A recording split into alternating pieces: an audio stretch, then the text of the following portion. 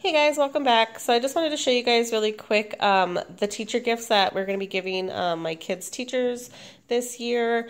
Um, I went ahead and picked up some stuff um, last summer actually, and I've been kind of hanging on to it um, till the end of the year. Um, I usually do like a before or the beginning of the year gift. which usually is just like supplies that they ask for, and then an end of the year, which is something like for them um, so let me just show you guys what I ended up getting them this year. Um, so my boys Daniel and Gabriel uh, both have teachers. Daniel also has um, a couple aides and a bus driver that I have to get for. So let me show you guys the teachers' gifts first. So as I had mentioned before, um, I go to, you know, I just shop sales and clearances throughout the year. So last year, um, last summer, we were at uh, Michael's and they had these really cute little bags. Um, this one has ice cream on it and it just says I love sweets. And this one just has macarons.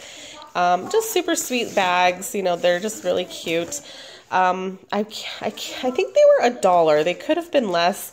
I don't quite remember how much I spent, but I didn't spend a whole lot. And they also had these cute little um, thank you tags, and these are metal. Um, I just thought those were really sweet to hang on there. So you don't even need a card. You just hang the little metal tag. It says thank you. They pretty much know what they're getting. Um, so inside, let me show you guys what I did. Okay, so they also had little matching, um, what are these called? Like notebook. This is a magnetic list pad. They can write down notes. It has magnets you know, for whatever, and it matches the bag, which I thought was cute. It also has um, these little note cards. I know sometimes teachers like to write thank you notes or, you know, whatnot, um, even if they just want to take it home. And I also picked up, you know, Bath and Body Works always has sales and clearances, and I believe I got these for like under a quarter.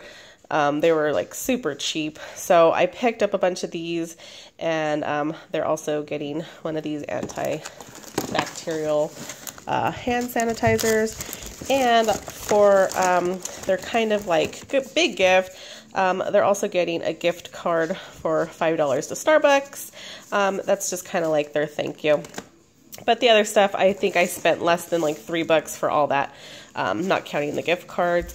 The aides are also going to get gift cards, and it's the same thing in this one, um, except for this one, the pad has the macarons, which match the bag, and the um, cards, which are so sweet. Look at that. And those are so cute.